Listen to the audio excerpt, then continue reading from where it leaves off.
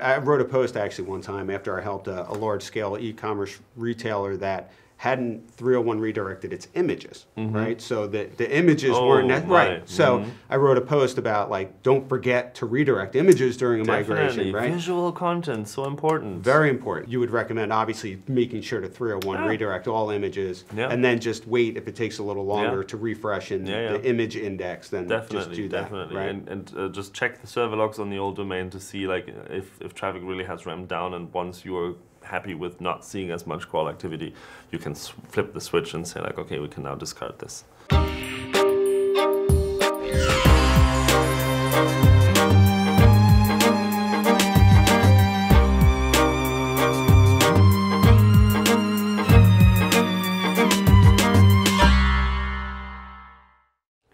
Hey and welcome everybody to a new episode of SEO Mythbusting. With me today is Glenn Gabe, and uh, we usually meet at conferences when we're speaking on various stages, uh, or we talk on Twitter.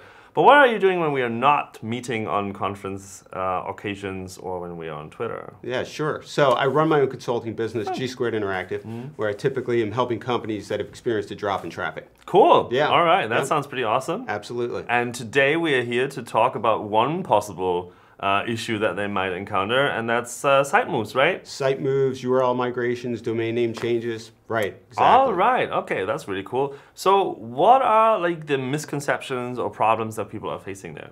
Yeah, sure. So there's lots of myths, and there's actually a lot of confusion in the industry Mm. about these. I mean, some site owners are scared to actually pull the trigger on it um, because they don't know what's going to happen, and others are actually pulling the trigger too quickly, not preparing for it. And then there's a lot of people in between, right? Mm-hmm. So um, I guess the biggest myth is that you will always experience a drop in traffic with a domain name change or site migration. Oh, Yeah, right. Yeah. I think that's a very good one because uh, the answer to it is it depends, as you know. So, a lot of times people are not understanding what a site move is. So, if you are literally just moving from one domain to the other, copying pretty much the entire URL structure and the entire content over, um, then you not necessarily see a drop of traffic. I mean, you will see that traffic drops off over time on one domain and picks up on the other, but overall, that doesn't really mean that you have a traffic drop. You're not losing traffic. If we can do this very clean move, then there's not really going to be like a drop period where one one drops and then the other picks up, but there's more like a fluid transition. Got it. Now, what's interesting is that, you know, I've been part of some domain name changes. Let's Mm-hmm. stick, stick on that one for a second. That, you know, went completely smoothly. Yeah. Um, sometimes the site will actually go up over Yeah. time, so on and so forth. Then there were some weird anomalies, right? Where, and like you said, it depends, right? Mm-hmm. So a site that three days after completely tanks by 70%. Mm. And is it based upon the history of the domain? Maybe the domain that they're actually moving to was bought and had a history of its own. Is there anything that you could elaborate on that, maybe? So normally it's not much about the history. I mean, the history does play a little bit into it, uh, especially if it's like basically uh, being used for spamming purposes, and then you buy and then immediately switch. That's a tricky one. You want to make sure that you're not like dealing with weird issues, and you want to make sure that you have your monitoring and search console and all that set up properly uh, before you do the switch. Um, it can also just be like if you are making other changes as part of your site move, that's a risky one because Right. then we can't really, we don't know that it's just a move, but we see like, oh, hold on, that, that like when we are crawling this, there's differences in what we're seeing Right. here. Hmm, maybe we need to like be careful and recrawl a little more, and then you might, depending on, depending on how large your, your site is, might run into crawl budget things. Um, so it, it depends on a bunch of factors, but normally getting a domain that you know is not like dealing with issues from the past should be just fine. And even if it's a domain with history, we are aware that content on domains do change, um, but depending on what the domain looked like beforehand, we might not consider it a site move, and then we would have to recrawl and reprocess everything, and that takes a little longer. Interesting. So let's say that there's a site, um, a domain name that was used. I'll give you an example. Actually, it was a client that um, had a really long domain name. They were an e-commerce retailer, and they're like, "Wow, they want to get just the four-letter domain name that represented their their company." They finally got it. Yeah. They w- they went live with it, right? Um, did the domain name change, and then they called me about a month in, and they're like, "Oh no, this is not good. What's going on?" It ends up that domain they didn't research, and it was some like rock band from the past that had all sorts of crazy spammy links and all sorts of stuff. so they definitely, yeah. in the short term, saw a dip. But then it corrected itself over time. Exactly. As we So, see, like right. content can change. I mean, you, you you buy a spammy domain, or you just literally have it hacked for a while, and then you fix it. You know how that goes, right? Whenever you have problems that we detect and point out to you, and you fix them, it takes a while for us to like understand that it has changed and everything is better now. Um, but that's generally what what happens. So you want to make sure that you clean out anything that might be problematic up front and give us time to understand that things have now changed and we're now back to a clean slate. So you have to do some cleanup if there was problems in the past. Got it. So in that situation, it probably would have been smart. First of all, if they researched the history, and then maybe filed a disavow. If Mm-hmm. Yeah. there were a bunch of Yeah. bad links there, just to make sure from Yeah. the beginning that this was more of a cleaner transition. If you take over the domain, make sure that you're measuring what happens through tools like Search Console and that you understand uh, how the domain is doing. Maybe even consider removing the content and waiting for us to understand that content has removed so that, Wow. that, that things are normalizing and we're clearing out the signals. And then um, step by step migrate your domain over so that as we discover the page to uh, the, the pages to be moved, uh, we also understand like okay, so this is a new start for this domain. Got it. Okay. All right. How about another myth? Yeah, sure. Or- Yeah, and, hit and then, then we what, could, what do you have? And then we could go into more of the details All right. go- Yeah, yeah, goes yeah. on behind the scenes. Um, how about uh, taking a site, merging two sites into one site, and thinking that one plus one will equal two when that nec- won't necessarily happen. And I've been part of a few of those that actually went very well, and others that didn't go poorly, but it wasn't one plus one equals Mm-hmm. Yeah. two. So Right? that's that's not a, such a simple uh, situation anymore. Now, beforehand we talked about a site move, and site Yeah. move literally just means we're moving everything we've got over to somewhere else. That's a site move. The moment I'm combining two sites, that's not moving two sites into one. That is creating a new site that is a merged version of the 2 mm-hmm. So that is by definition not a site move. This means that we have to understand. Okay, so now there's a bunch of more con- like this content moves here, this content moves here, but there's like a bunch of other things going on here. It's a completely different domain, and or maybe not. Maybe it's just like the URL structure changed in some way or another, or the, there's new URL, there's new content moving here from somewhere else. None of that is as simple as a site move, so we have to basically recrawl a lot of pages. Depending on how large of uh, your site is, that might mean that it takes a while for us to literally just get a get a lay of the land in terms of what content is there now. Um, depending on how you set up your, your site structure, we might understand. Okay, there's just like new section of the site has has been created, or if you're like mixing them in, then it's like, uh, what's happening here? Did the other things change as well, or is it just like this new content? So depending on how you merge the sites, uh, you might get very different results from how we are coming to an understanding of your new site structure and your new new site content, and that can go smoother or less smoothly depending on how you do it. Yeah. Got it. Got it. Now, with a domain name change, just to hop back there. So I'm really interested, and I know site owners are interested Mm-hmm. in this, and a lot of SEOs, I'm assuming. Um, what goes on in the Google machine once the site move, Mm-hmm. a domain name change is triggered, right? Change of address is switched, right? That's Right. that's activated. Yes. 301s are in place. What happens? what happens. So Yeah. what happens is that eventually we're gonna be um, crawling what we used to know about your site, and, and we, we do get the signals from other sites uh, pointing to to your content there, and we understand okay, there's a there's a redirect, and it's not a redirect in isolation. It is basically literally just a completely move here, um, and uh, then we have to make sure that what we knew before is true for what happened afterwards because you could hypothetically have changed the site fundamentally and then again it is not a site move. But as, as more we discover that it's basically just a one-to-one copy and it's just like moving everything over from here to there uh, we will basically make sure that we forward the signals that we had from the old site to the new site to the new domain uh, and then make sure that we are getting more or less like an efficient lay of the land without having to recrawl everything. Um, we might still, you might still see like increased crawling activity, but uh, eventually that's going to settle down as we understand that the site is just a copy of what was there at a different space beforehand. Uh, and then eventually the, the signals will fade out and the crawling will fade out on the old domain, and we're just gonna be moving swiftly on as nothing, as if nothing happened uh, afterwards with the new signals that we have for the new domain. Got it. Got it. And how fast do signals get passed? That depends, like Okay. on so many different things. Uh, if your website doesn't get crawled as much, then pff, there's, there's nothing that's gonna make that go like this. Okay. Uh, if there's a lot of crawl demand and crawl budget for your website, then we might actually um, do that relatively quickly. It can be in a day, it can take a week. It, it really depends. Also, uh, how many links do we have from different sites? How often do we crawl these? Um, and how quickly can we discover that everything has been moved over? And uh, yeah, it can take a few days up to a few weeks. Got it. Yeah. And um, what does the change of address tool do differently than just having 301s? I mean, is there some trigger in the back that Google's like, okay, the change of address tool we, is being used. We know that it's verified by this, Mm-hmm. this owner. Is there something better that happens there? It tips us off that this is what you're intending to do. So we Okay. know that it's not like a temporary thing or that it's like a mistake or something. You're explicitly telling us, you're giving us an additional signal saying, like, hey, we're moving, rather than us being like, hold, hold on, that's a bunch of redirects happening here. Do we, is, what's hap, is that, what's going on? So, um, you're giving us a more explicit signal that this is a site move, so we can probably reprioritize things. We can make more uh, useful decisions in how we want to crawl and how we want to identify if we can pass the signals on or not.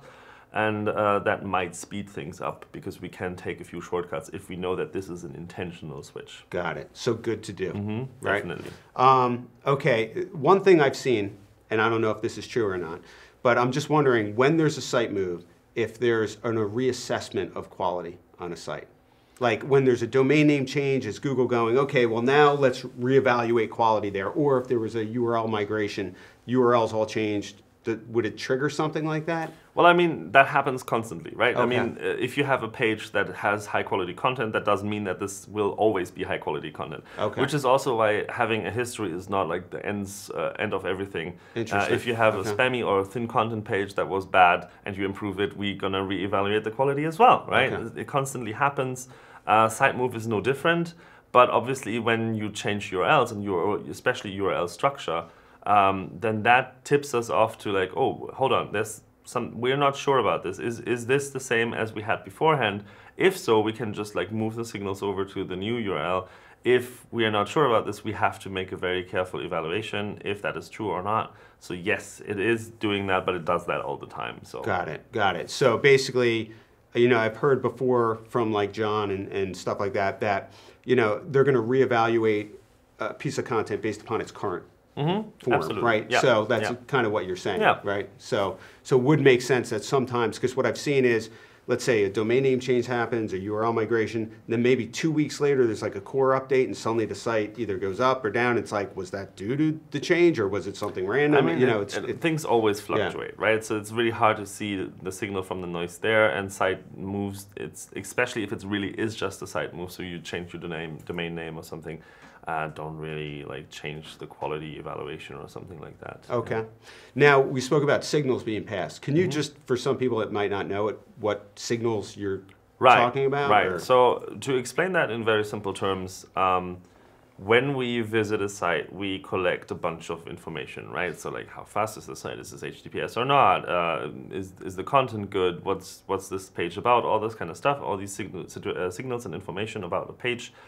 Uh, that later go into ranking. There's like hundreds of these factors that we look at, um, and we collect them per page. If you would go to a restaurant, you kind of do the same thing, right? It's like, do I feel welcome here? Is the staff nice? Is the food quality nice? Is the price fair? These kind of things you put in your file as signals for this Right, right. restaurant.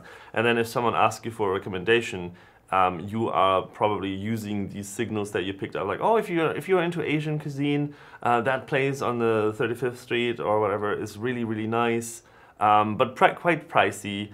Uh, and if you then know that this restaurant has moved, you probably want to reevaluate some of these, right? It's like, oh yeah, I was there when they were in the other location. It was fantastic. I don't know how it is in the new location. So that's kind of the situation that we are facing as well, right? If you're literally just moving everything over, we can be like, yeah, no, the, the restaurant just moved so, somewhere else, or the food truck moved somewhere else. It's the same food truck, it just stands somewhere else. It's nice, it's still cheap, nice, good stuff. Um, but if if something changes, the food truck now moves into a location, and you're like, is that nice? Is it still the same stuff? Is it still cheap or is it now more pricey? And that kind of is true for, for search engines as well. We have to then reevaluate what we are seeing, right? So first we had a baby algorithms analogy from Gary Illyes at PubCon, Yes. and now we have a food cart analogy yeah, from you. it just which- keeps getting more colorful, doesn't it? Absolutely. I can see a blog post coming out about that one too. How about this one, right? And this happens sometimes. Let's say there's a domain name change or URL migration, Mm-hmm. traffic plummets for whatever reason. Mm-hmm. When do you revert, right? When do you roll this whole thing Yeah. back? Now, only a few times in my career, and I've been through a ton of these, have we had to do that. Mm. And I know in the Google documentation, it, it basically says, you know, you have 180 days to, you know, reverse the change of address, and then you got Mm-hmm. To put 301s all the way back from where they were coming from. It's Yeah. like a total nightmare. Yeah. Um, so from your perspective, when do you think, let's say a site saw a drop of 50% Mm-hmm. after a migration for whatever reason, at what point do you go, yeah, maybe you should roll this thing back? I think that depends on what you're identifying as the reason for what went wrong, right? Okay. You, you definitely want to do some some uh, diagnosis first Sure, before sure. you do any moves in any direction. It's like, so is it is it that we're still seeing the old ones and for some reason not registering that these are uh, redirections, or are we just not crawling the old old ones uh, often enough so that we have just like hit a really nasty spot in the in the timeline of where we could potentially have moved, or what's what's going on here if if you really do not understand where this is coming from and you have looked at everything and you cannot explain what's happening Right. i would say after a few weeks maybe like a month maybe give it a month or something and then i would consider um, either getting help that's the best way to do it like get some help somewhere uh, with this with this stuff or um, if you really don't understand what's happening and it doesn't get better after a month or so, consider doing uh, a reversion, but only if you are really, really sure and out of options. Right. Because most of the times it is some sort of technical problem, or Yeah. it's like you missed half of your redirections and we didn't really register that it was a change of address much.